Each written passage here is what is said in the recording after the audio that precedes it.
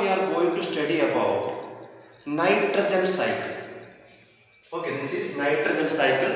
What you can see in the board is nitrogen cycle. See, you know that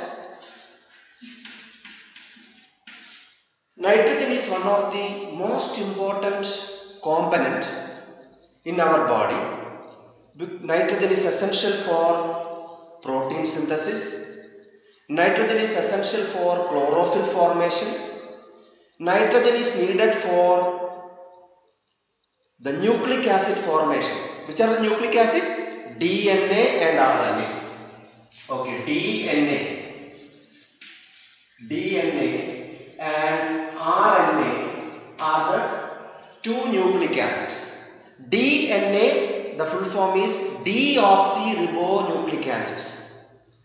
RNA, the full form is ribonucleic acid. These two nucleic acids control the uh, hereditary characters of organisms. Hereditary characters means the characters that pass from the parents to the offspring are under the control of DNA which are actually present in the chromosomes which are present inside the nucleus. Since these acids are present inside the nucleus of a cell, these acids are called nucleic acids. Are clear? So these are the two types of nucleic acid. For the formation of nucleic acid, nitrogen is very much essential. Protein production, nitrogen is needed. Chlorophyll formation, nitrogen is needed. Different enzymes are produced uh, because of the presence of nitrogen.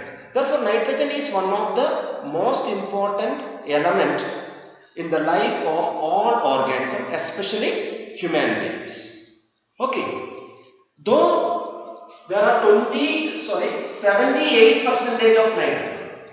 There is 78 percentage of nitrogen in the atmosphere, but this nitrogen cannot be used directly by human beings.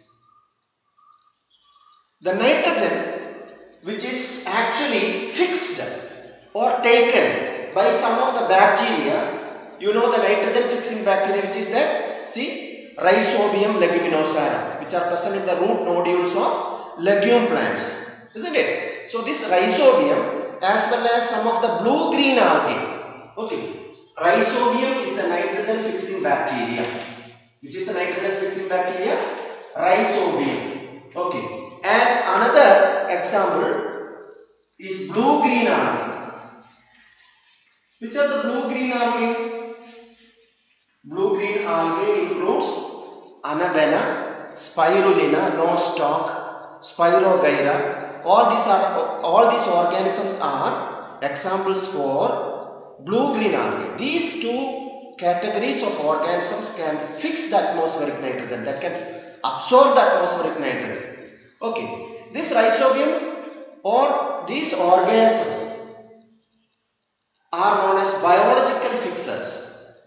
That means bio means living organisms. Since the living organisms like rhizobium and blue-green algae are helping for absorbing or fixing the nitrogen from the atmosphere, this is known as biological nitrogen fixation. This is called biological nitrogen fixation. The nitrogen is fixed by the help of some of the organisms. This is called biological nitrogen fixation. The nitrogen in the atmosphere is also converted into usable form by lightning. During lightning, during thunder and lightning, the nitrogen get oxidized and converted into nitrate-like compounds in the soil. Therefore, nitrogen is converted into usable form.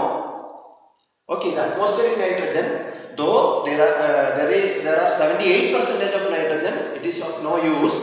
So this atmospheric nitrogen is converted into usable form, usable compounds like nitrate. Okay, compounds like nitrates in the soil with the help of some bacteria or blue-green algae and that fixation is called biological nitrogen fixation or these nitrogen is converted into usable form in the soil during lightning. Now see the nitrogen is converted into usable form. Now it is available in the soil. From the soil this nitrogen is taken, absorbed this nitrogen is absorbed by the plants. Okay, plants absorb this nitrogen. Why these plants are absorbing the nitrogen? Nitrogen is essential for chlorophyll formation. The nitrogen is essential for DNA RNA formation. Nitrogen is very much essential for proteins. Okay, so by using this nitrogen, plants produce proteins and when these plants are consumed by animals, the proteins are goes to the body of animals. Okay, we are dependent on plants for our protein, isn't it? See different protein of rich food like groundnut, uh, then grain gram, pulses, all the pulses and grams are rich in proteins, isn't it? These proteins are called body building food. So for the development of our body, development of cells, for the growth, we need lot of proteins. We are getting this protein from plants. Okay, now see, from the atmosphere, through the living organism, the food, uh, sorry, the proteins reach in the animals through plants. Now when the plants and animals die, when the plants and animals die, they are decomposed. These plants and animals are decomposed by some decomposing bacteria and this nitrogen are again uh, decomposed that is called denitrifying bacteria actually or denitrogenating bacteria split the nitrogen compounds and the nitrogen in the form of gas again goes back to the atmosphere. So see nitrogen starts from the atmosphere and it goes through the different organism and it reaches the soil that is the earth and again it goes back to the atmosphere. This cycling of nitrogen okay the cycling of nitrogen from the atmosphere to the earth and from the earth to the atmosphere through different organisms is known as biogeochemical cycle. It is called biogeochemical cycle. Nitrogen is a chemical. Okay, this nitrogen is a chemical which is uh, passing from atmosphere to the earth and from the earth again back to the atmosphere through living organisms. That's why it is called biogeochemical cycle. And see here, the nitrogen level in the atmosphere always remains the same. Why? Because though we are using, though the plants and animals are using nitrogen, again this nitrogen is coming back to the atmosphere because of cycling. Therefore, the amount of nitrogen in the atmosphere always remain 78 percent. It will not change.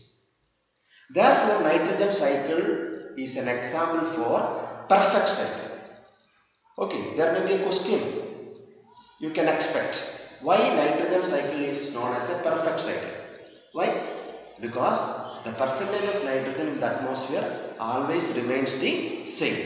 Okay, that's why nitrogen cycle is an example for perfect cycle. Why it is called a biogeochemical cycle? Because the nitrogen, cycling of nitrogen from the atmosphere to the air and from the air to the atmosphere through living organisms. Okay, this is what, that's why the nitrogen cycle is known as biogeochemical cycle. Hope you understood this. This is one of the very important uh, part of chapter number 2 because a question may be asked from this one. Are you clear now? Hope you understood this part. Okay, thank you.